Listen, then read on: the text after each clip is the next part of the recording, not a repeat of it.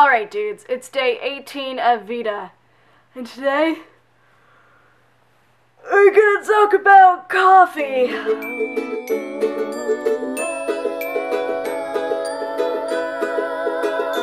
That's so science. Takes on VEDA. Caffeine is the most commonly used psychoactive drug in the world. In the US alone, up to 80% of adults consume it in one form or another. My form of choice? Coffee. The story of coffee begins. Once upon a time in Ethiopia, a farmer called Kaldi stumbled upon his goats acting a little bizarre. They were really hyper and would not sleep at night. The goats had stumbled across this plant, eating these berries. Yes, berries. Back at the monastery, Kaldi told all of his monk friends about this weird berry. Soon they started making a drink out of the berries, and thus the first form of coffee was created. So let's go back to that berry. Crack open these guys, and inside there's a little green bean. This is the seed of the plant. If you roast this seed at very high temperatures, pop, you have a coffee bean. So how does coffee affect the brain? The brain has a lot of chemicals called neurotransmitters. One transmitter called adenosine. Let me start that over. Your brain has lots of receptors for lots of chemicals. These are called neurotransmitters.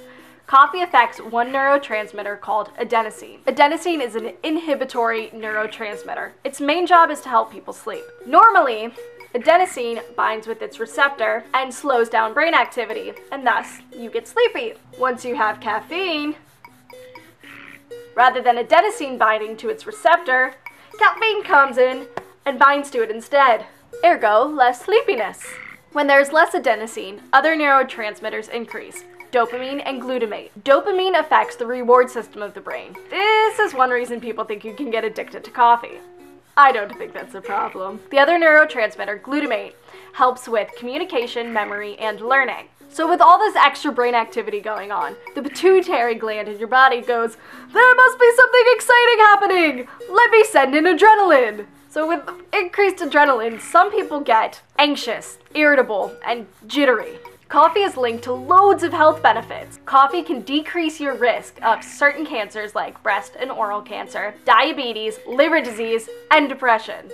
I sound like a coffee salesman. But wait, there's more. My favorite thing coffee does? One study suggests that drinking coffee can increase a person's ability to recognize positive words.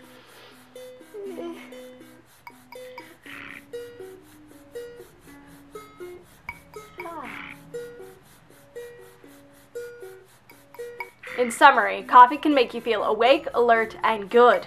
There are some downsides, however. The adrenaline rush from drinking coffee can increase irritability, anxious, and that jitteriness. Not to mention the lack of sleep if you get addicted to coffee. Coffee can stay in your body for up to six hours, so if you want to go to bed by, let's say, nine, who wants to go to bed by nine? You should stop drinking coffee by three. Also, a new study suggests that drinking too much coffee, more than four cups a day, can increase the risk of death. The study showed an increased risk of death of up to 56% in young men. Everything in moderation, dudes. Please hit that subscribe button if you'd like to see more That's So Science. If you have any questions or comments, please like and comment below. That would be super duper. Front of my shirt has Darwin on it, and then the back, there's grandeur in this view of life.